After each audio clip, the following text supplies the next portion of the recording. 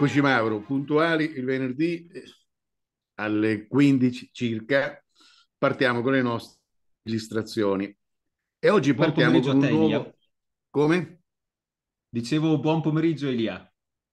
Sì, oggi nuovo argomento, partiamo con un nuovo argomento, un argomento di grande, grande attualità e anche di grande importanza, di cui però si parla, eh, ma si, se ne parla, se ne parla anche tanto, ma senza arrivare a qualche conclusione chiara, precisa, netta. Io sono fortunato perché questo argomento eh, l'ho, eh, l'ho, approcciato grazie all'Istituto Materboni Consigli, che mi ha dato anche lo strumento, diciamo, intellettuale per arrivare ad una comprensione un po' più, eh, più ampia e anche a capire alcune cosettine che vanno, vanno capite. Quindi poi nel corso del tempo, ogni tanto, io mettevo dei commenti eh, sotto diversi video di cattolici anche noti sul web dicendo ma perché su questo argomento non, non andate in fondo? Perché non si osa dire determinate cose? Ma adesso non voglio farla non voglio farla lunga. Comunque non ho mai avuto una risposta, non c'è una risposta. Cioè, a questo argomento non si va realmente fino in fondo. Io non mi sono mai spiegato il perché, eh, la, la domanda non me la pongo proprio più, ma è chiaro che noi ci prefiggiamo con questi video di sviscerare l'intero argomento. L'argomento di cui parleremo, probabilmente ci vorranno tre o quattro video, Mauro, è la crisi eh, nella Chiesa e la crisi della teologia, per poi vedere insomma a quali conclusioni arriveremo. A te la parola, Mauro. Grazie Elia. Innanzitutto eh, dobbiamo dire che a partire da oggi, per i prossimi 3-4 video, andremo a toccare un tema molto delicato, molto delicato, sperando di farlo in maniera, direi, non banale, non banale, ma sicuramente per linee generali, perché se volessimo addentrarci nei dettagli, noi possiamo rimandare a conferenze, video disponibilissimi su internet realizzati da parte di persone molto più titolate a parlare di noi. Comunque noi ci proviamo dal punto di vista del fedele, mettiamoci, mettiamoci così, nei panni del fedele che vuole cercare di capire che cosa sia stato della tradizione e come si possa cercare di rimanere fedeli alla tradizione. Quindi ci sarà una part, come si dice, destruence, ma anche una pars construence, quindi non bisogna solo criticare, bisogna anche in qualche modo indicare certo. una via d'uscita, altrimenti certo. rimane soltanto un lavoro di critica, critica, osservazione fine a se stesso. Allora, a differenza di altre volte, ci avvaloreremo in questa occasione di una serie di slide che ho preparato. Allora, queste slide, a mio avviso, sono utili anche perché ci sono delle citazioni che ritengo importanti che si possano leggere assieme e leggere con calma. Ovviamente il titolo è provocatorio perché la crisi della Chiesa abbiamo già fatto tutte le nostre osservazioni, Elia, anche in video precedenti, sul fatto che la Chiesa, la Chiesa vera e propria non possa essere in crisi, ma certo. la usiamo così a livello comunicativo generale e della teologia. E della teologia. Allora, io direi che si può iniziare citando un autore grandissimo, veramente un grande filosofo e teologo, che fu padre Cornelio Fabro. Padre Cornelio Fabro nel 1974 pubblica un'opera intitolata L'avventura della teologia progressista, quindi l'avventura della teologia progressista. Lui ci spiega che un tempo la parola era intimamente legata alla verità, quindi la verità era la norma universale, la norma oggettiva di riferimento, era la presenza che illuminava, diciamo per così dire, ogni aspetto del reale, sicché anche chiunque si addentrasse nel mondo della fede, qualsiasi fedele, aveva, aveva comunque una serie di principi di riferimento che potevano servire per ehm, orientarsi nel campo dell'etica, nel campo delle scienze, nel campo della morale e così via. Senza idealizzare troppo sul passato, perché questo è capitato di dirlo anche volte, non è che dobbiamo pensare che 60-70 anni fa, poiché la situazione, diciamo, cattolica era di ordine, allora fossero tutti santi. No, evidentemente non è così, uomo è uomo. Certo, certo che c'era un mondo della fede che era vivo, attivo, sia nella vita pubblica che nella vita privata e pian piano, vedremo nel corso dei video, si è appreso in maniera brutta in maniera diabolica relegare questi principi di riferimento della fede alla sfera privata. Quindi la fede è semplicemente una questione di sfera privata. Nel pubblico, nel politico facciamo altro, perché lì dobbiamo essere democratici, dobbiamo ascoltare un po' tutte le campane e così via.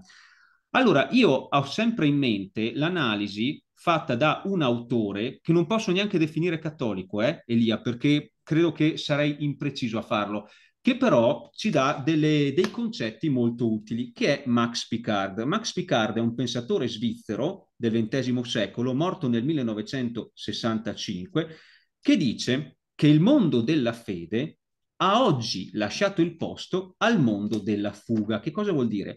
Che un tempo la fede, quindi il riferimento a Dio, il riferimento a una trascendenza, era la base e coloro che se ne distaccavano erano piuttosto una minoranza. Oggi è il contrario. Il mondo della fuga, cioè del distacco, è la normalità e chi in qualche modo si riferisce a Dio, quindi ha un pensiero verticale nell'analizzare le cose, ecco che rappresenta un'eccezione. Se permetti, io andrei a fare una citazione da questo testo che è eh, intitolato La fuga davanti a Dio. In tedesco fu pubblicato nel 1934 con il titolo Die Flucht vor Gott, La fuga davanti a Dio, di Max Picard.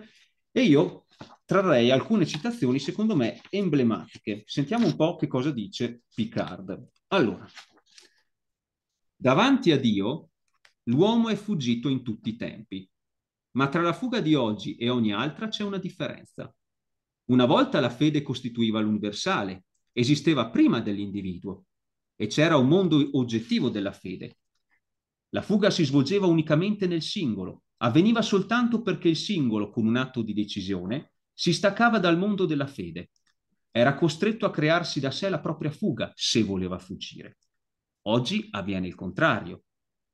La fede come mondo esterno oggettivo è distrutta. In ogni momento l'individuo deve ricrearsi la fede con un atto di decisione, staccandosi dal mondo della fuga. Perché la fuga, non più la fede, esiste oggi come mondo oggettivo e ogni situazione in cui l'uomo può venire a trovarsi è a priori, è a priori senza che l'uomo contribuisca a crearla, una situazione di fuga, ormai naturale. Se a un singolo uomo riesce di strapparsi dal mondo della fuga e di giungere alla fede, riesce a lui solo, il singolo. Il mondo della fuga esiste indipendentemente dalla sua decisione.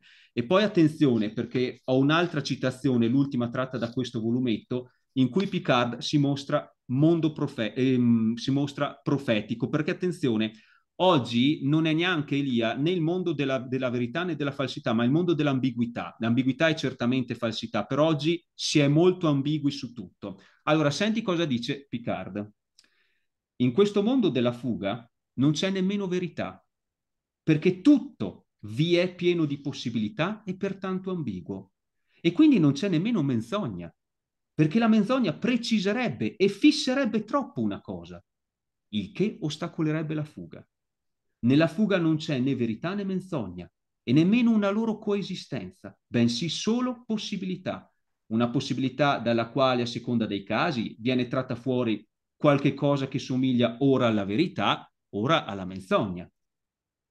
Nel mondo della fuga non c'è fede, perché dove tutto è possibile non si sente il bisogno di credere. Dio è ridotto al grado di una qualsiasi possibilità, il che è ancor meno che essere una impossibilità. Quindi queste sono parole, quindi per dire, e spero che avremo anche modo di riuscire a farlo nei, pro- nei prossimi video, che quindi oggi regna il mondo della fuga, ma dell'ambiguità, neanche della, della falsità conclamata, ma dell'ambiguità. Certo, essere ambigui è essere falsi, ma essere ambigui è ancora più confondente che essere falsi. Ed è un mondo del grigiore, insomma. Esatto, esatto, è un mondo del grigiore. Ma torniamo a noi, torniamo precisamente a quella slide che prima no, no, non ho avuto modo di leggere perché stavamo parlando di padre Cornelio Fabro.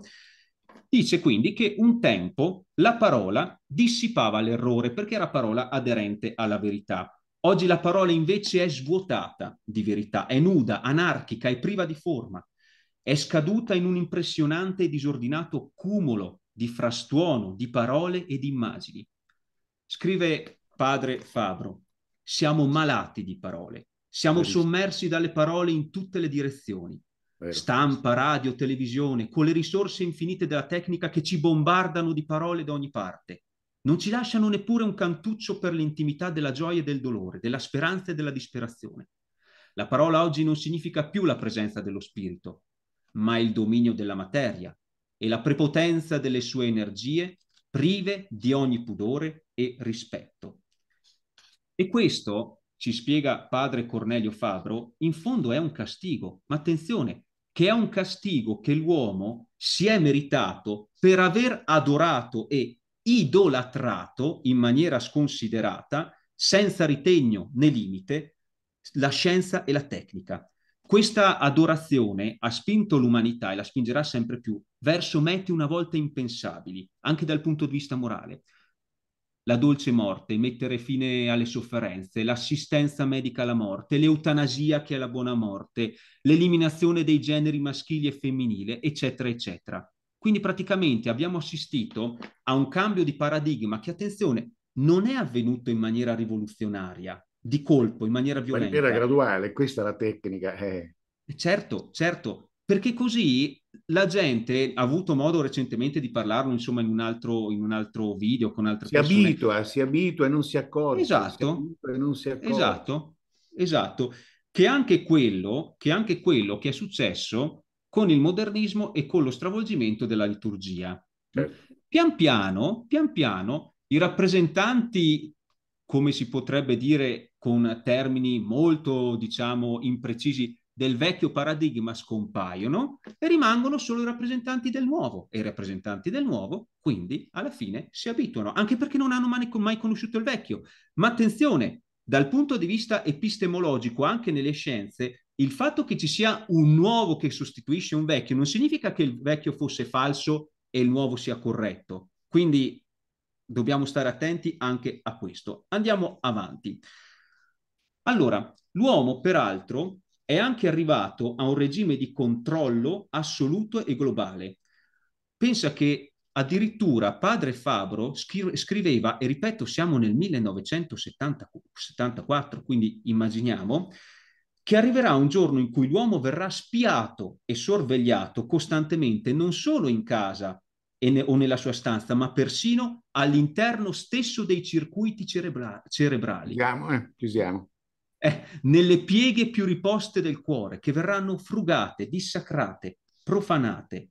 È la distopia della quale Elia abbiamo già parlato io e te in altri video, no? La moneta digitale, le varie app sui cellulari, il microchip, eccetera. Quindi sono cose che magari nel 1974, io non credo, eh, potevano sembrare, diciamo, folli, ma sì, è una distopia di di un mondo che non verrà mai, ma che oggi sono la normalità.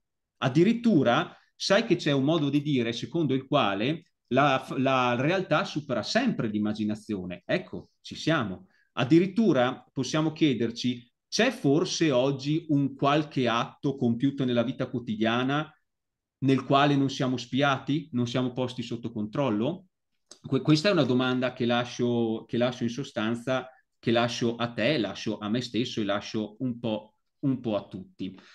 Ora, l'uomo ha perso il logos divino, si ostina a cercare la verità e la salvezza nella ragione scientifica. Quindi se c'è oggi una fede, è la fede nella scienza, lo sappiamo, lo scientismo. Sì, ma poi con la, la scienza.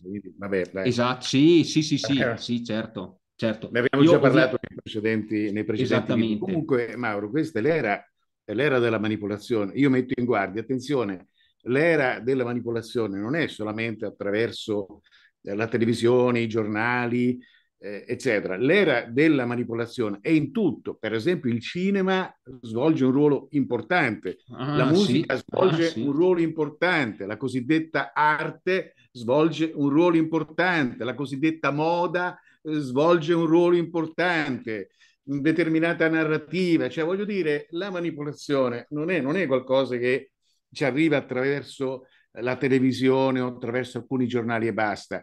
Eh, cioè, è, è, a 360 gradi, ci arriva da tutte le parti, anche da dove non potremmo assolutamente immaginare. Oggi arriva anche dalla scuola, la buona scuola, anche quella è sempre la parola buona, no?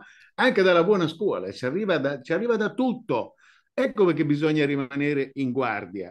Certa musica è chiaro in che direzione va, determinati testi è chiaro in che direzione vanno, certi film che esaltano eh, certi stili di vita e ne deridono altri, è chiaro in che direzione vanno. Se voi ascoltate i, certi, i testi di certe canzoni, c'è da rabbrividire, c'è da rabbrividire tutto il messaggio che lanciano, che poi uno le canticchia nella mente e queste si fissano con la ripetizione.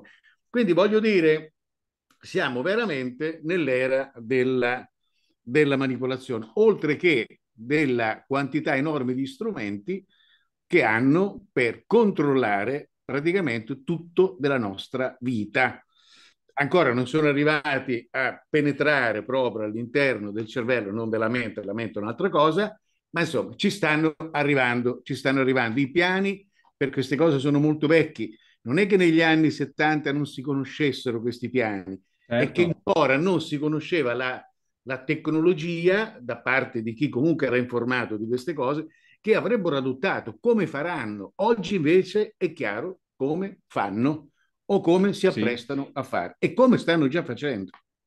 E aggiungo anche una cosa, trovando resistenza nulla o quasi, eh? Certo. Resistenza nulla o quasi, questo certo. è, il, è, il, punto. Perché almeno anche sul discorso del microchip, del pagamento digitale attraverso il microchip, no? ne abbiamo discusso in un video, ci fosse una qualche forma di ritrosia, eccetera. Il problema è che non ce n'è, si accetta e la si vede come il futuro, anzi come il, tra virgolette, progresso. Però, però io, Mauro, farei una precisazione. Non è vero che non c'è resistenza. Allora, dobbiamo capire su certe cose non c'è resistenza, su certe altre non c'è grande resistenza, ma c'è una percezione di fondo generale, questa c'è. Ma che cosa manca affinché questa percezione poi trovi voce? Ci vorrebbero delle autorità di riferimento. Il problema ah, certo. dei nostri tempi non è solo la manipolazione, ma nel momento in cui io mi rendo conto di tutte queste cose, che faccio? A chi mi rivolgo? a chi mi unisco, che cosa si può fare. Quindi uno, uno, delle, uno dei problemi più grossi è che mancano assolutamente autorità di riferimento. La grande capacità di questa gente è stata eliminare qualsiasi valido, ehm, chiamiamolo intermediario, insomma, che potesse aiutare, agevolare, mettere insieme queste queste, queste coscienze che comunque si ribellano in qualche modo. Io ho sentore di queste cose, le tocco veramente con mano e ti trovi di fronte sempre a una sorta di impotenza. Tante persone dicono sì, ma cosa facciamo? E anche quando rivolgono a te la domanda, eh, a me cioè in questo caso, e dicono ma cosa possiamo fare? Io non è che abbia mille risposte, capisci? Ne ho qualcuna, ma sì. non sono neanche risolutive certo. non sono neanche risolutive. Quello che dico, noi dobbiamo pensare a noi, lasciamo stare il Massa, lasciamo stare gli altri. Noi facciamo qualcosa già nel nostro piccolo, facciamo queste cose. È l'unica cosa che puoi dire, ma, ma dicono, ma possibile che non c'è nessuno a cui far riferimento? Ecco, il problema dei nostri tempi è la manipolazione, questo continuo parole che ci arrivano dappertutto, ma la mancanza di punti di riferimento. Questo è un concetto estremamente importante, Mauro, da, da, da considerare. Scusa, l'ho fatta lunga sì. ogni tanto. No, no, ma è, cioè, la mancanza di punti di riferimento è anche un, un tema fondamentale delle, certo. delle lezioni che, che, che, approfondiremo da oggi in certo. avanti, certamente, certo. certamente. Certo. E ehm, devo dire che se noi prendiamo in considerazione l'ultimo praticamente grande pontefice, l'ultimo pontefice, Pio XII, no? Papa Pio XII, lui era un papa a 360 gradi, lui si occupava di tutto, scienze, morali, moda, sport, tutto, tutto. Certo. Quindi significa che il fedele aveva un punto di riferimento in ogni questione. Non c'era una, una, un punto in cui, diciamo, l'autorità di riferimento abbandonasse il fedele, non c'era ambiguità. Poi stava al fedele, attenzione, stava al fedele la scelta. Comunque il fedele che decideva di rimanere in linea con la tradizione, con i dettami della morale, eccetera, sapeva di poter contare su un'ala protettiva e guardagli che avere anche un'ala protettiva sulla quale confidare, eccetera, per farci forza anche nella lotta quotidiana, non è una cosa secondaria. Guarda, ti faccio un esempio. Durante questa pande, quella che è, vabbè, lasciamo stare, si è posto il problema poi del coso. C'era gente che non era sì, molto sì, informata sì, e ti chiedeva, ma che devo fare?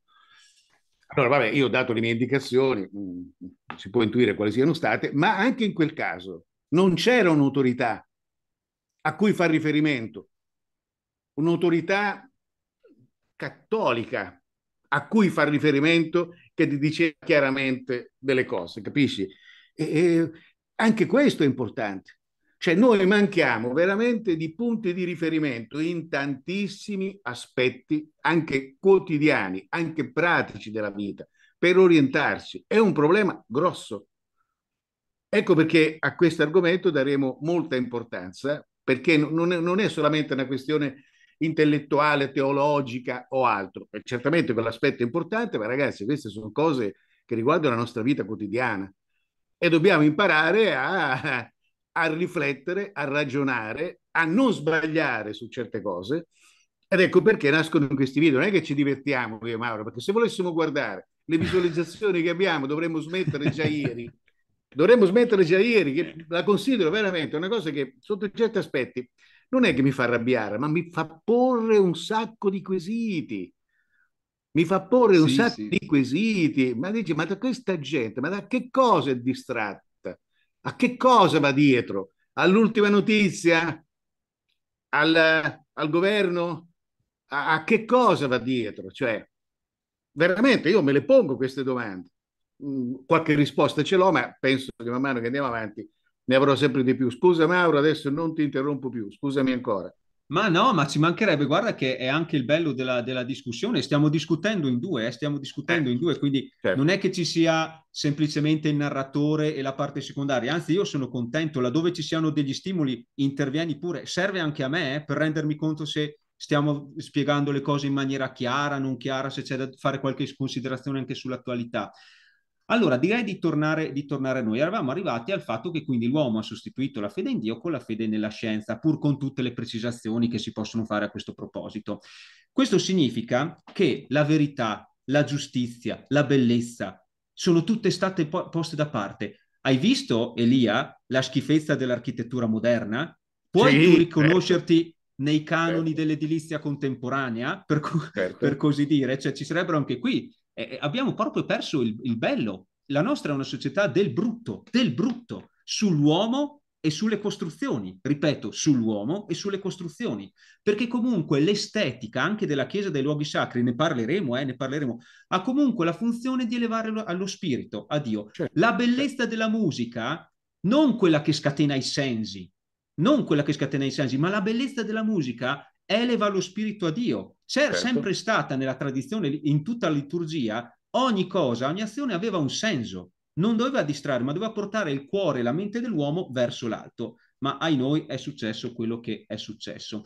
Che cos'è, per esempio, oggi allora giusto e vero? Giust- giustizia e verità. Giusto è ciò che l'uomo desidera. Quindi, quanto è oggetto del mio desiderio, è giusto che io lo abbia. D'accordo? È giusto che io l'abbia. Anche se si tratta di cose totalmente al di fuori della natura, eccetera, è giusto che io l'abbia. Vero è ciò che io sento come tale. Oggi sento mio, la mia adesione anche alla fede è un sentire, no? San Pio X aveva avvisato su questa cosa del sentimento, del sostituire la ragione con il sentimento. Ha detto attenzione che la fede non è un fideismo, quindi ci sono degli argomenti solidi, razionali, cosiddetti preambula fidei. Andiamo avanti.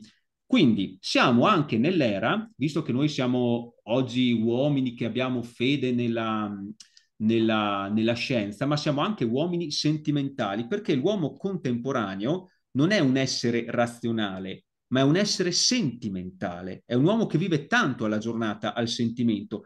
E attenzione, perché nulla, visto che hai parlato di questo tema, calza proprio a pennello, è tanto manipolabile quanto il sentimento il sentimento, la parte emotiva dell'uomo, ripeto, se non è guidata dalla ragione è manipolabile come si vuole. Quindi certo. l'opinione pubblica, la cosiddetta opinione pubblica, può essere facilmente diretta, anche mediante manipolazione, verso cosiddette nuove mete morali di chi ne vuole il controllo. Certo. Allora, nel mondo di oggi, il suicidio, che è suicidio, viene fatto passare come una scelta democratica per porre fine alle sofferenze. No, stiamo parlando di suicidio. No, è una scelta democratica, una dolce morte per porre fine alle sofferenze. L'aborto è l'interruzione della gravidanza. No, l'aborto è un crimine. Stai uccidendo una creatura. No, perché c'è il diritto del corpo. No. stiamo avendo a che fare con un essere umano fatto, formato e finito. Guarda, ti faccio anche un esempio visivo. Allora, attenzione, perché questo è, è molto violento, eh? è molto violento, ma Elia, o lo facciamo o le cose le facciamo o non le facciamo. Allora, no, no, ma vai, vai questo... tranquillo. Guarda qua. Allora, a sinistra hai un cucciolo, bellissimo, eh, per carità. A destra hai un feto abortito. Ok? Ora io nella società di oggi sono in grado di, non io Mauro Stenico, eh, però sono in grado di manipolarti tale per cui ti faccia più pena il cucciolino poverino che viene abbandonato sulla strada, sai, con delle music- musichette, eccetera, che le centinaia di migliaia di aborti di bambini che avrebbero tutto il diritto naturale di poter venire al mondo, che vengono invece eliminati prima ancora della nascita. E lo posso fare manipolando il sentimento. Mi spiace di dover fare questi esempi, Elia, perché certamente non sono esempi, eh, es- esempi belli da vedere, però in sostanza, se ci siamo posti come obiettivo di dire le cose, queste vanno dette. Tutto quindi è frutto, è diciamo eh, diritto di libertà personale, quindi diritto dell'uomo, no? Il diritto dell'uomo. Quando al, centro della vita si pone l'uomo e non Dio, tutto diventa un diritto, persino l'aborto. Allora, il filosofo cattolico belga Marcel de Corte, morto nel 1994, in L'intelligence en péril de mort, cioè L'intelligenza in pericolo di morte, che è un libro anche, un libro anche disponibile in traduzione italiana, scrive con i mezzi oggi a disposizione dei tecnici, la stampa, la radio, la televisione, eccetera, non è un'esagerazione dire che l'opinione è fabbricata a catena. No, no, è la realtà. Perfe- esatto. con arte perfetta della manipolazione, del trucco, dell'imbroglio, nelle officine di informazione che abbondano sul pianeta. Il nostro è il secolo dell'informazione deformante. Senti qua, molto verosimilmente sarà impossibile allo storico dell'avvenire conoscere la verità storica degli avvenimenti che si svolgono da mezzo secolo sotto i nostri occhi. Quindi è il famoso mondo dell'ambiguità dove non riesci neanche a distinguere il vero dal falso. Gli antichi filosofi persino i pagani sostenevano l'importanza della verità rispetto all'opinione.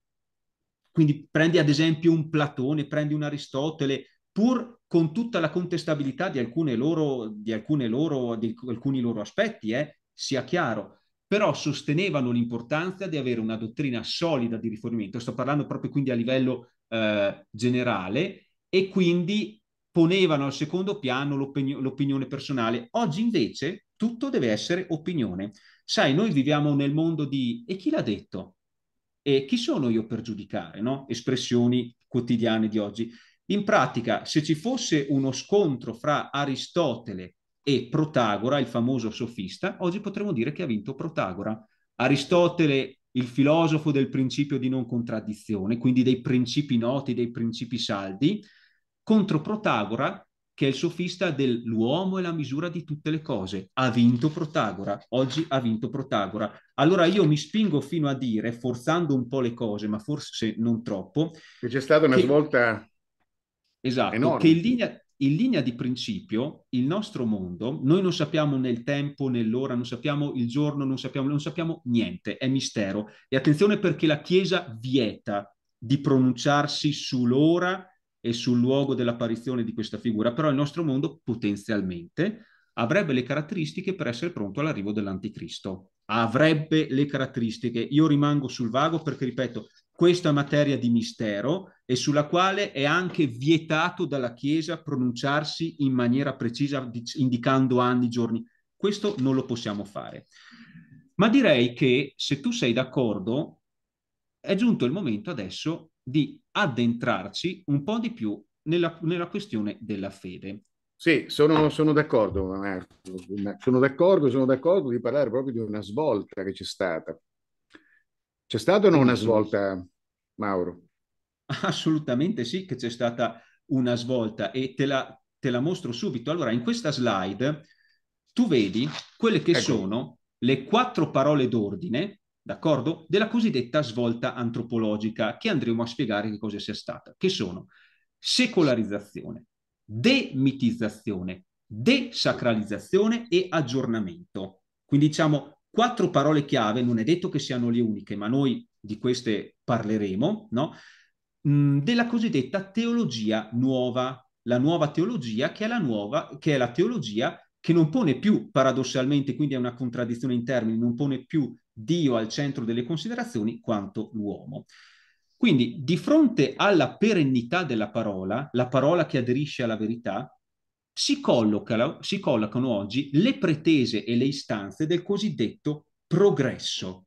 Quindi oggi una delle parole d'ordine è il progresso, in particolare del progresso moderno.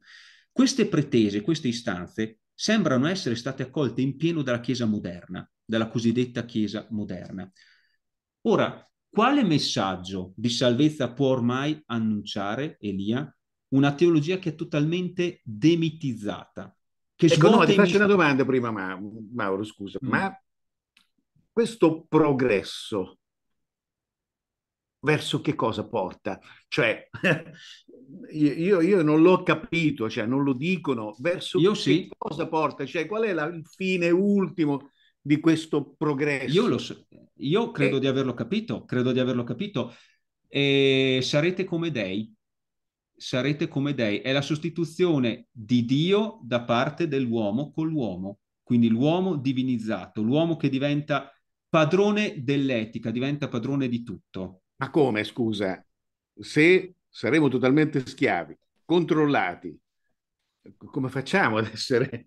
Cioè, che questa sarà, è ambigua, certo. perché tu da una parte mi togli tutte le libertà, mi togli anche le fonti di sostentamento, mi controlli sul denaro, mi controlli su ogni cosa. Poi alla fine mi dici che stiamo andando verso un mondo in cui eh, che saremo de- tutti come dei, cioè, c'è una piccola contraddizione. Eh, ma questa, no, no, questa è, è, è, l'illusione, è l'illusione diabolica, eh? Perché ad Adamo ed Eva Lucifero che cosa promette? Promette il sarete come dei, quindi loro mangiano il frutto, loro mangiano il frutto pensando di diventare come Dio, hanno infranto il comandamento divino, in realtà sono schiavi, in realtà sono schiavi del demonio, quello è. Quindi anche allora mi correggo perché forse è meglio dirlo in maniera più precisa. Effettivamente noi crediamo di poterci divinizzare, ma allorché avremo raggiunto questa meta ultima, avremo cancellato completamente il ricordo di Dio dal nostro cuore e dalla nostra mente, perché ancora non è scomparso, ecco che ci renderemo conto come non mai che saremo schiavi. Schiavi di chi? Della figura completamente antitetica, antitetica a Dio. Però allora credo che sarà, che sarà abbastanza, abbastanza tardi. Del resto è anche scritto che deve comparire il grande nemico, no? E sai, quando comparirà il grande nemico, la maggior parte delle persone, anche diciamo eh, di mo- moltissimi fedeli, si sottometterà pensando di essere libero e padrone. E persino questa figura arriverà, arriverà a dichiararsi essa stessa come Dio, andando oltre persino ciò che Satana aveva tentato, perché Satana, pur nella sua diciamo, follia dell'essersi liberato, dell'essersi ribellato a Dio, non è mai arrivato a dire di essere Dio lui stesso. Invece l'anticristo lo farà. Ma attenzione Elia, perché l'anticristo sarà un uomo, eh? Sarà un uomo. Sarà un uomo che si crederà Dio, ma si crederà. Quindi la domanda che hai fatto e la precisazione ha aiutato anche me un po' a precisare meglio il discorso. Andiamo avanti con l'analisi? Sì, andiamo avanti, andiamo avanti. Perfetto. Eravamo arrivati alla parola d'ordine della... Però forse non per molto, perché sennò poi il video diventa lungo e francamente in questo video c'è già tanta sostanza, quindi... Guarda, io okay. cerco, cerco, di semplificare, però qualcosina ancora la voglio dire. Prego, vai, vai. Allora, dicevamo, che messaggio di salvezza può dare ormai una teologia mitizzata che svuota i misteri e i dogmi del cristianesimo, a cominciare dalla caduta, chi crede oggi nella caduta, nel racconto di Adamo ed Eva? No? Chi crede oggi ancora alla creazione immediata di Adamo ed Eva e non piuttosto all'evoluzione di primi ominidi da forme animalesche precedenti, oltre che allora alla comparsa graduale della religione, del linguaggio, della ragione, eccetera, eccetera? Ecco che il messaggio cristiano tradizionale in questa società volta, tra virgolette, al progresso, viene presentato tramite il filtro della secolarizzazione, dell'aggiornamento. Noi dobbiamo aggiornare la verità, dobbiamo aggiornare nostro Signore. Pensa un po', dobbiamo aggiornare nostro Signore. Questa secolarizzazione implica la visione modulata, cioè distorta, no? della verità. Infatti si dice in caso contrario, se rimanessimo ligi a ciò che è stato detto secoli fa e da secoli, il nostro messaggio non verrebbe più recepito dall'uomo moderno. Quindi l'uomo moderno dice, no, questa era roba del passato. Quindi dobbiamo modellare. Attenzione, non stiamo parlando di una strategia comunicativa del tipo discusso da noi a proposito di San Tommaso, che dice che quando si discute di determinati temi, talvolta è necessario scendere a livello dell'interlocutore, ma certo, non certo. per appiattire la verità, ma perché da lì poi posso ricondurlo verso l'alto. Chiaramente se ci sarà una corrisponsione di questo sforzo, se ci sarà la grazia, eccetera, eccetera. No, no, qui noi a vantaggio del mondo, a vantaggio della comunicazione, quindi il fine è la comunicazione, non la verità, appiattiamo la verità. Questa è la, è la, è la questione.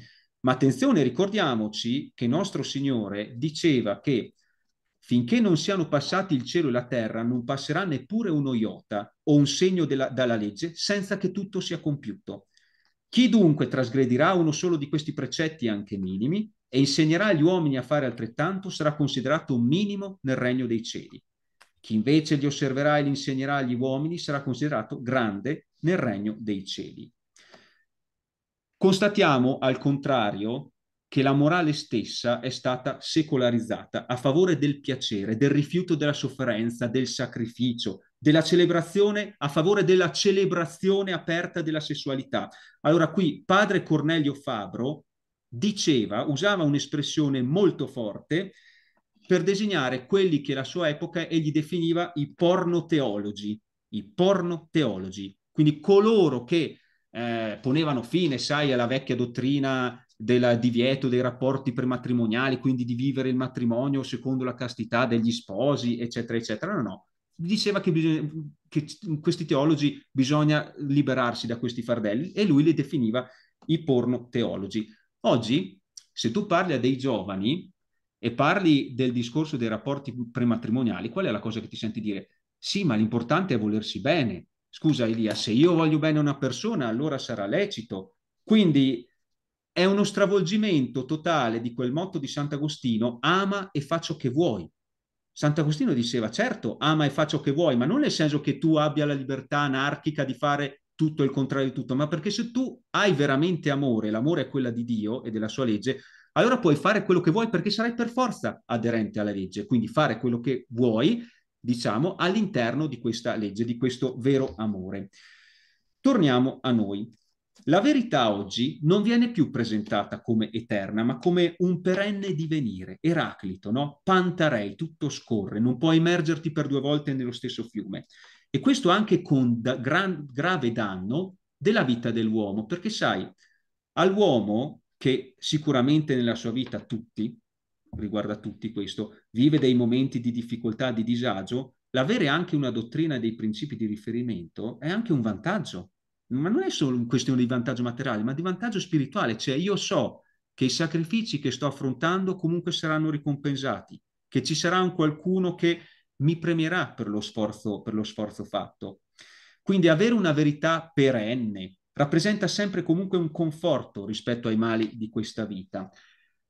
La nuova teologia, invece, e quando parla padre Fabro è il 1974, pensa un po' cosa dovremmo dire oggi, 2022, pensa un po', presenta quanto fu sempre considerato come peccato come uno strumento di sviluppo della personalità. Si è dunque aperto quello che è un mondo alla rovescia, anche qua, un mondo alla rovescia. Allora, scrive padre Fabro, non è ancora la citazione che abbiamo sott'occhio dove vediamo, vediamo Kant, ma ci arriveremo. Il peccato, anzi magari intanto togliamo, dai, perché devo dire la verità, un po' fastidio me lo dà. Il peccato, che l'antica teologia qualificava come prevaricazione della libertà e offesa di Dio, è diventato ora un affare privato dell'uomo con se stesso, che non ha né può avere alcuna incidenza con il rapporto a Dio.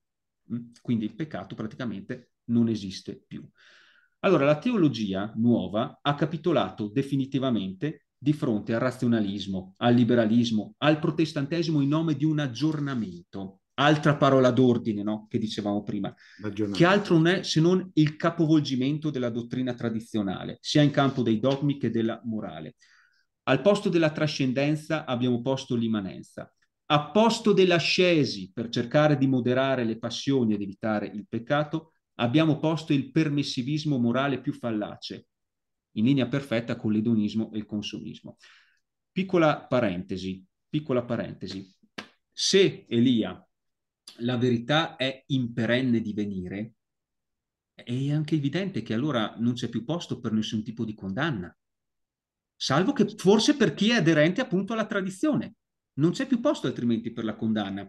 Le dichiarazioni del Concilio Vaticano I, le encicliche Pascendi di San Pio X, la Humani Generis di Pio XII, queste qua sono cose del passato, contengono dottrine perenni, condanne perenni, ma sono cose relegate all'ambito storico in cui furono formalizzate. Ora, oggi quello che dobbiamo accogliere trionfalmente è il carismatismo, il carisma, la libertà religiosa, il pluralismo teologico, viva la democrazia, viva il pluralismo. Se la tradizione e gli insegnamenti non sono in linea con la modernità, è tanto peggio per loro, tanto peggio per loro, si dice. Chi fu uno dei grandi autori, tra virgolette, eh, che ebbero una responsabilità non indifferente? Allora, ne potremmo citare tanti. Citiamone sì. uno, Karl Rahner, tanto lo conoscono tutti, tutti sanno, sì. sanno di cosa stiamo parlando. Morto nel 1984, lui fu il vero inauguratore della cosiddetta Anthropologische Wende, che vuol dire la svolta antropologica. Quindi il passaggio dall'antropologia teologica, quindi l'antropologia, la visione dell'uomo fondata sulla trascendenza e sulla realtà soprannaturale della rivelazione, alla teologia antropologica. Quindi dall'antropologia teologica alla teologia antropologica, che è una teologia fondata sul piano del naturalismo, dell'immanenza. Sembra che escludere la trascendenza e il soprannaturale per i nuovi teologi sia l'unico modo per poter parlare ancora di Dio. Allora, l'autore, che prima ho fatto vedere brevemente in questa slide, è Kant. Kant è colui che ha cercato di demolire, cercato, eh, perché lui dice di, esserci, di esserci riuscito, i suoi seguaci anche, il, il, il filosofo del Keine Metaphysik mehr, niente Vabbè, più a parte che Kant poi si contraddice, ma lasciamo stare, non, non sì, è il caso.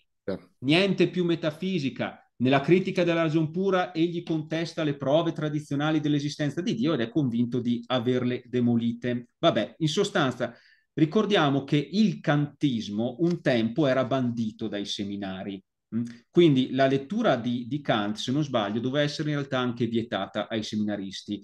La potevano leggere la filosofia di Kant solo coloro che erano preparati, che avevano degli strumenti filosofici per poter controbattere a queste tesi, altrimenti eh, questo autore ti porta all'agnosticismo, eh? ti porta all'agnosticismo, che, che ci sia un'oscillazione, come stavi giustamente dicendo tu, dell'autore stesso fra un'opera e l'altra, però adesso non è, non è il caso di entrare in dettaglio. In sostanza, Kant, Kant ritiene che Dio sia un postulato, un postulato dell'azione morale, ma forse ancora meno. Quindi non possiamo essere certi che Dio esista.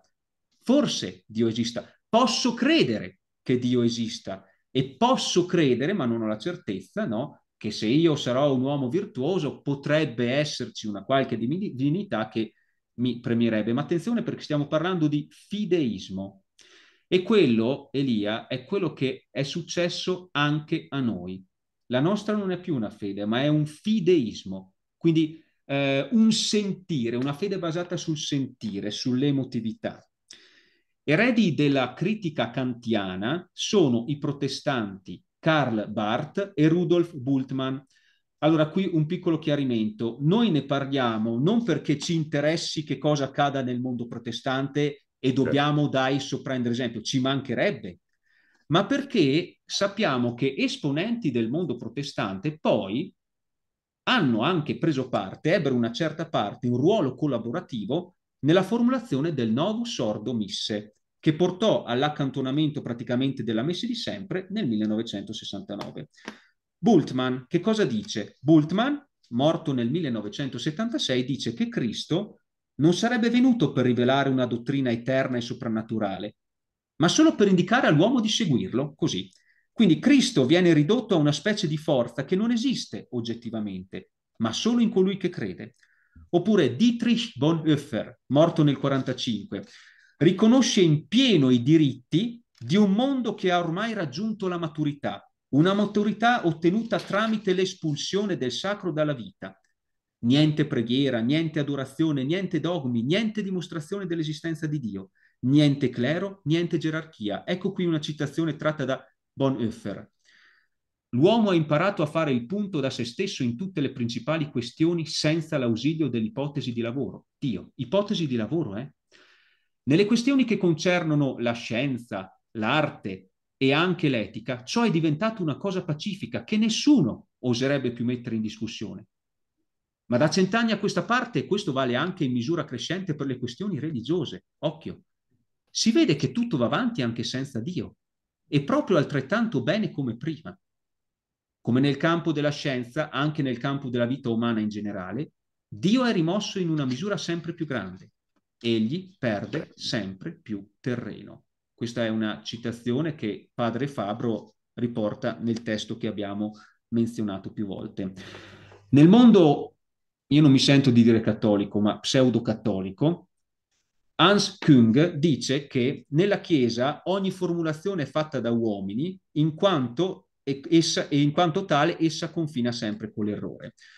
Ormai sembra sia proibito anche solo porre la questione di Dio. La coscienza religiosa ha subito uno stravolgimento totale, una vera e propria rivoluzione copernicana, in quanto, e qui chiudo, ultima citazione, citazione sempre da padre Fabro, l'ho citato tante volte, ma io ho trovato quel testo, eh, L'avventura della teologia progressista, davvero potentissimo, in certi casi starei attento, però in molte affermazioni condivisibilissimo.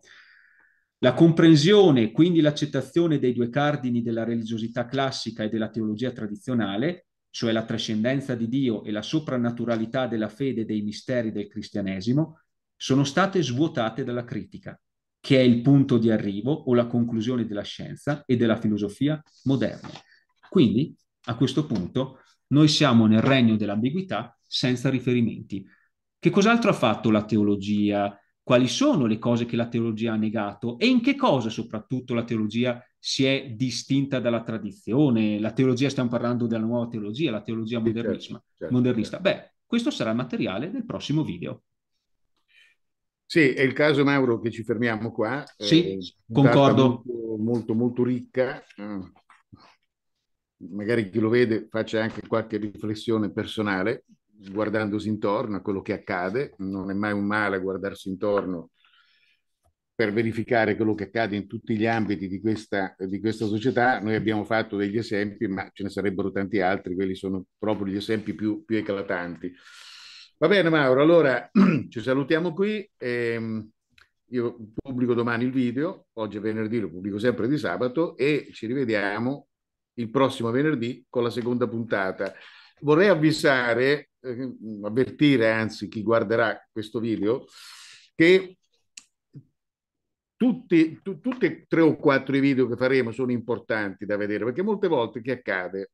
C'è una serie di video, le persone vedono il primo e hanno già capito tutto. Eh, io, mm, come dire, sono contento se le persone guardando solo un video hanno capito anche video che non hanno ancora visti, però insomma è sempre meglio, meglio quando si inizia qualcosa è sempre bene completarla, è una buona abitudine, è una pessima abitudine iniziare qualcosa e non pubblicare e, non, e, e poi non, non, proseguire, non finire una cosa cominciata. Quindi in questo video troverete già, tantissime, avete già trovato anzi tantissima informazione, ma posso garantire che tutti e tre e quattro video saranno interessanti.